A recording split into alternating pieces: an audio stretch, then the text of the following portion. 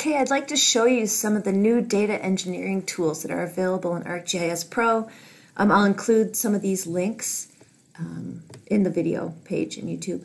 So uh, data engineering uh, is this whole suite of tools that you can use to clean and format your data and prepare it basically for spatial analysis. But it allows you to visualize patterns, um, look for relationships, and, and, look at the structure of the data uh, using kind of quick draw visualization techniques, um, including symbology, creating charts, um, and to calculate some of the basic statistics, actually um, relatively complex statistics, um, on the fly. There are some really helpful uh, descriptive web pages. Like I said, I'll include those links. Uh, but let's look at some data in Pro. And if you want to follow along, um, this is a, a, national risk index that's been calculated for uh, the United States. Um, I downloaded it from ArcGIS Online uh, by searching NRI underscore counties um, if you want to follow along. It's, it's pretty uh, detailed data. Let me uh, do a select by attribute here to show you what some of the fields are.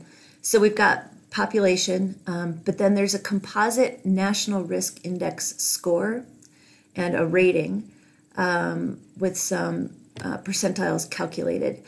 Um, expected annual losses, uh, social vulnerabilities, community resilience scores, uh, and then they break it down by the different risk types. So, for example, I'm looking for kind of a shorter one here. Here's drought. So, um, number of events over time, uh, annualized frequency, um, effects on agriculture, agricultural loss. Some of them have building loss, but then at the end, there's the um, overall risk calculation, and then uh, the rating is a categorical or a text field, similar to this, very low to very high. Uh, earthquakes, hail, heat waves, wildfires, winter weather. Uh, really interesting data set, very rich. Uh, okay, so let's take a look at data engineering tools. With this selected in contents, go to the data tab, and it's over here under data engineering. It opens up a panel for us, basically. Um, so some of the first things that you can do are notice the field list and notice that the icon tells you what type of data it is. So we've got ABC for text data, uh, 123 for integer data, um, long, short, etc. And then we've got um, 0.01 and an arrow showing this is continuous data, um, but with a floating point. So either double or float.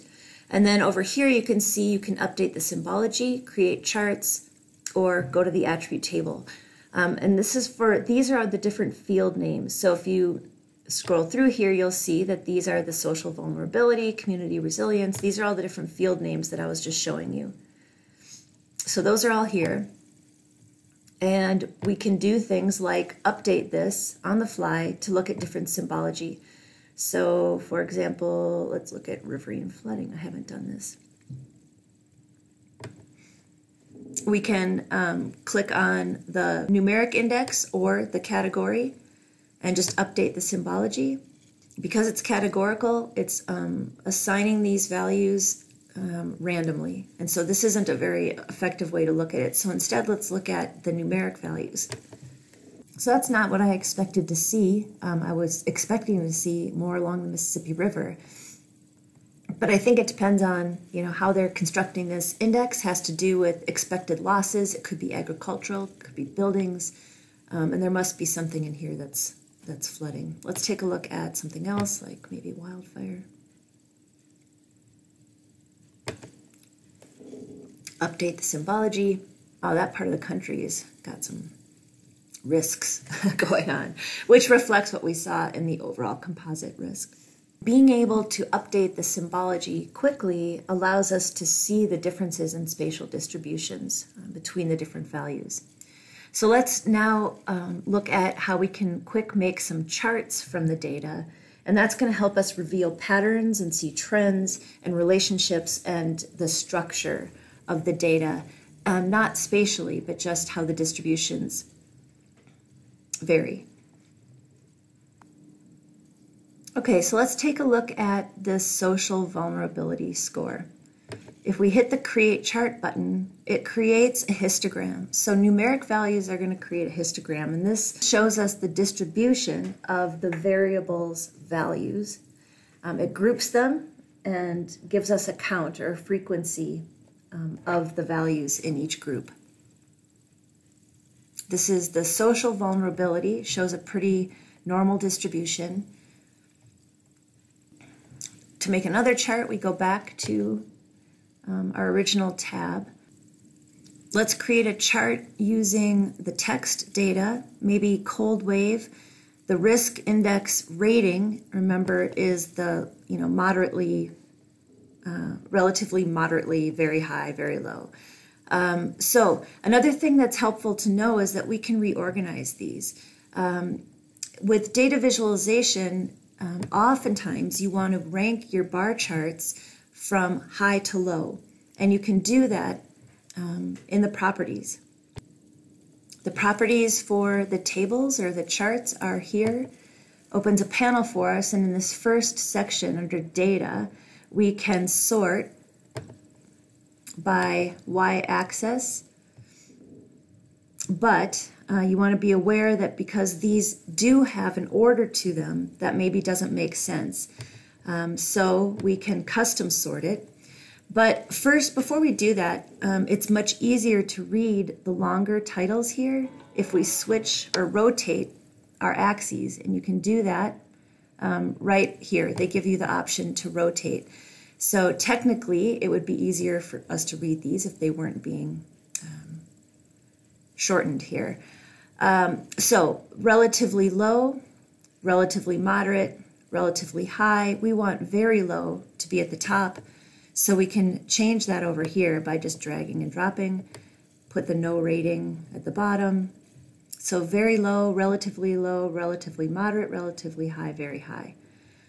And then no rating. And we could probably get rid of this one. One thing that's pretty neat about this though is that the chart and the map are connected to each other. So if we wanted to know where the very high were, now we haven't symbolized the map um, by cold wave. Um, we're only looking at the chart. This is still wildfire. But if we select the very high um, cold wave hazard rating, uh, it selects those counties on our map. The very low cold wave. The third type of chart that you can make is a line chart. So if you have um, temporal data, a dates column and want to see trends over time, um, you can go back to um, you can go back to your um, fields view and select um, some kind of a date or time field and then see a line chart. So the next thing that you can do quickly with the data engineering tool is calculate statistics. So I'm going to pull just a couple of these fields over into our main panel here. This is the number of tornado events. I'm just going to pick some random things. Um, let's look at the numeric for uh, the tsunami numeric value. And we're going to build kind of a secondary table here. here. Um, if you hit the calculate button,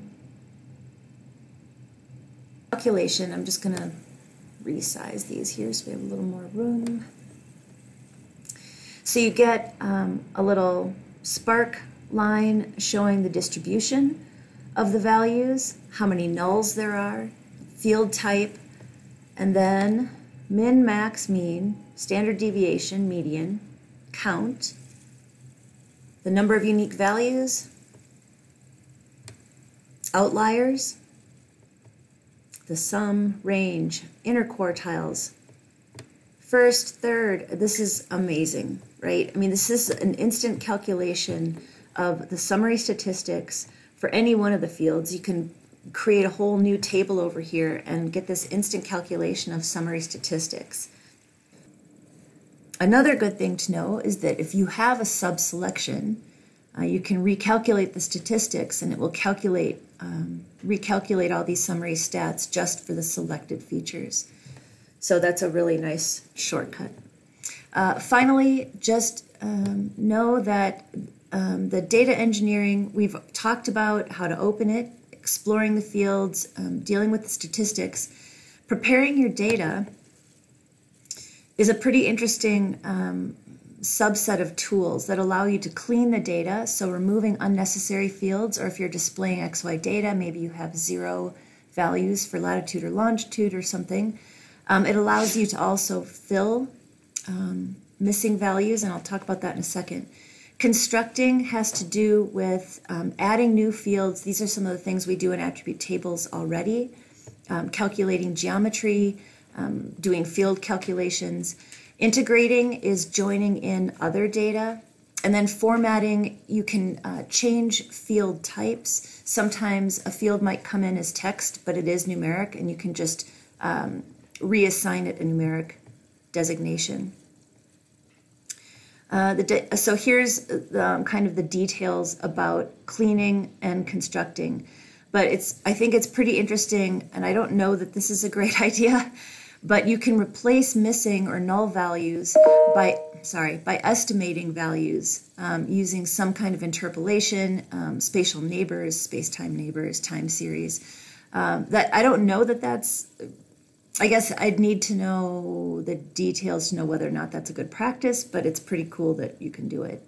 Um, time series smoothing as well is a pretty interesting idea um, to um, kind of diminish short term fluctuations that might impact longer term trends. You can smooth um, values over time.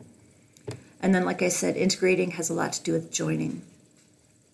So uh, these are great web pages that, that describe um, some of the functionality of data engineering.